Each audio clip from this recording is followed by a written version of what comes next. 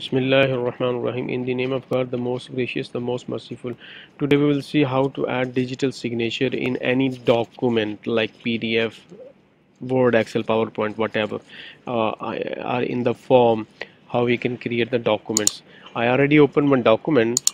Uh, I'm just deleting this signature, and uh, I'm just going to the. There is a signature button.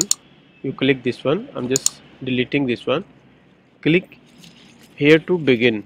I'm just clicking here. Then I will make one signature.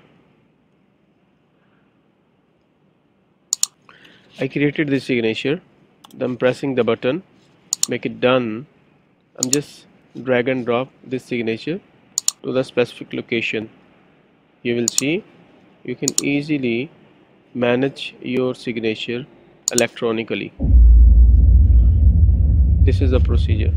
Thank you so much for watching this short clip